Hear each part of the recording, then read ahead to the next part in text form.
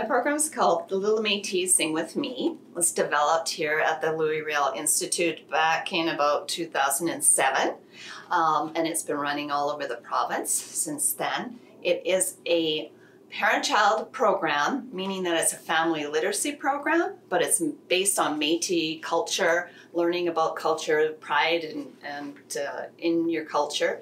So it has many parts to it.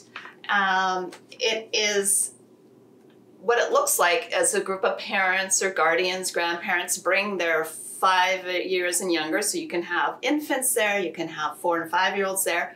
They start out in a circle, they're singing rhymes and songs. They are, we are reading to the kids and we try to expose them as much as possible to uh, Métis books that cover different topics and also have Michif language. So lots of interaction between the parents and kids lots of bonding is happening, uh, lots of language is happening, and the point of that family literacy piece is that that goes home with them because we know parents are the first teachers and the most important teachers to the kids. And doing this kind of stuff early, lots of language, is just going to give the kids a head start in school. Um, our goal in the program is not to entertain the kids our goal is to teach the parents to interact, to use literacy, language, song, rhymes, books at home. So we use the same rhymes and songs every week so that they know them, the kids know them. The repetition is so important. They use them at home for bedtime, for uh, behavioral issues that using rhymes is a great way to handle behavior issues with kids. You start singing to them in the safe way suddenly you've got their attention. Um, it's also a great way to teach the language.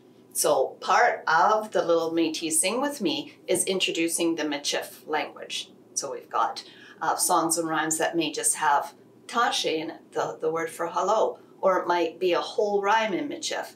And the facilitator, that group of parents can decide how much they want to introduce. Um, we have a program called Speaking Michif that is family based. It's beginner Michif, and that can be used with our little Métis Sing With Me. All the little books, rhymes, and songs from this program are on a CD and also available online. So parents have lots of access to it and to hearing the language spoken properly. And it's all based on stuff you do at home, um, things you would say to your kids like, it's time for bed, or let's go brush your teeth, uh, things that are at home, what's in the kitchen, what's what, what are the words for play, uh, those kind of things. So it's very family based, so it goes well with this Sing With Me, which is a family program. Uh, the other good thing about the Little Métis Sing With Me is you have this beautiful bonding time with the parents and the kids with all this language. And then you separate. So you have parent topics and you have centers and activities for the kids. So the parents get to cover things that are important to them as parents, but also about their culture. A lot of parents are coming to us not having grown up with knowledge of their culture. So we can have guest speakers in, we can teach them beading, uh, we can learn about history. There's so many options that the, the parent group kind of gets to, to steer. There's a group in um, Selkirk that what they do is the parents make a pair of moccasins. So they're learning beading, they're learning how to make moccasins. By the end of the program, they've been discussing all this cultural stuff and they go home with this beautiful pair of moccasins the kids are doing different crafts, play activities. They've got furs to touch. They've got jigging music. They've um, they're getting exposed to the Michif language, and it all wraps up at the end with a dance circle. So the kids, the parents are jigging. They're learning the heel toe. They're playing musical chairs with jigging music. So it's a very positive, celebrate your culture kind of program with all sorts of other things happening literacy, bonding, um, learning about books, learning about print. So it's it's been running for about 10 years in various communities, and we are still training. The Louis Riel Institute trains, we train teachers, librarians, um, Head Start staff, daycare staff come and take this training.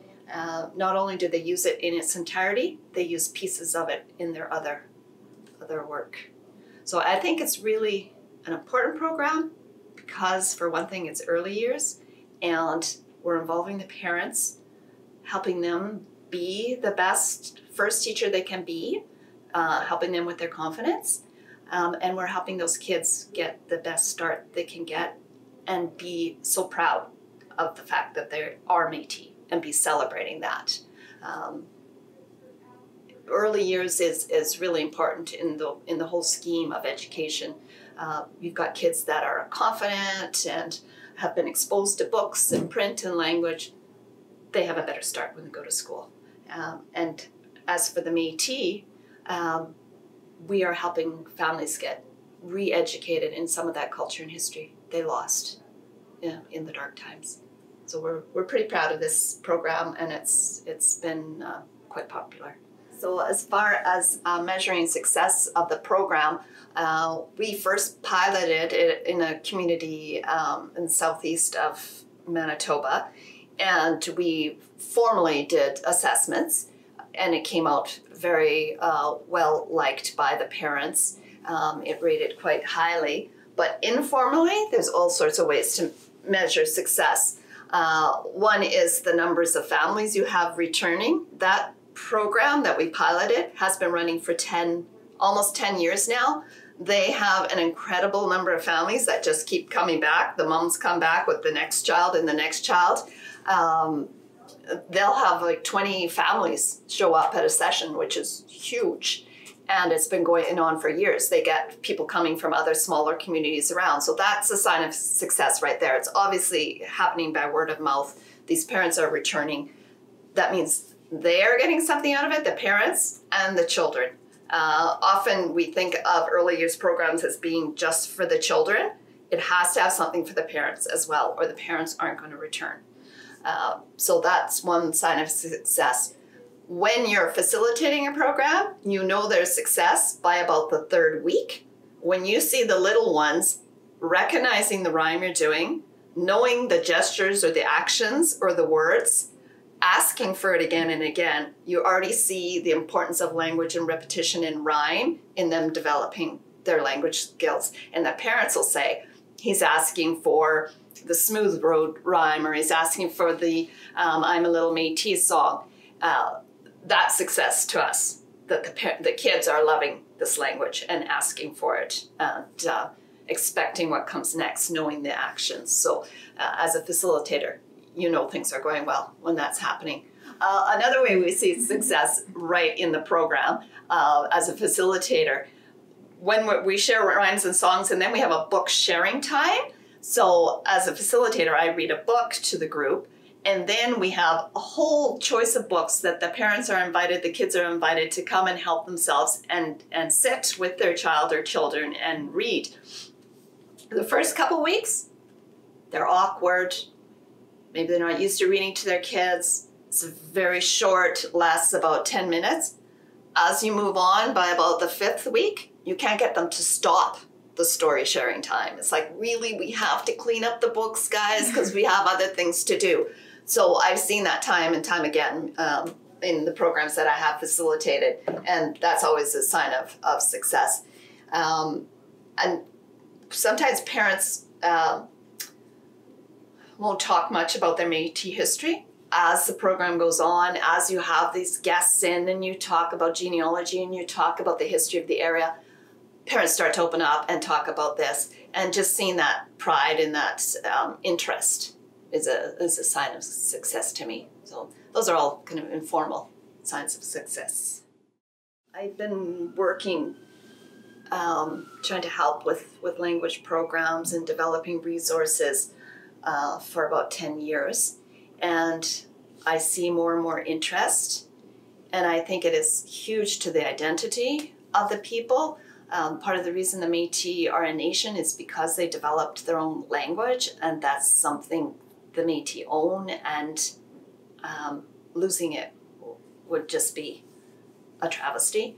So I think it's really important that the Michif language is included in all our materials, in our early years programs. For one thing, if kids are exposed to the Michif language, to the indigenous language of their people early, it's much easier for them to learn. They get the sounds in their head. Um, catch on so quickly. It's so much harder as an adult. So, as a, a, a creator of resources, LRI believes in including the Michif language in um, in everything we do, but especially our early years programs. Uh, that's that's the key to to learning languages and saving our language. If our kids aren't speaking our language, the language is going to die. So we have to get families interested and start with the kids young and have family programs. And the Little Métis Sing With Me is a family literacy program. It's also a family language program. They can start using those words and uh, get involved in as many language programs as they can. So I'm hoping that it's a real start for families.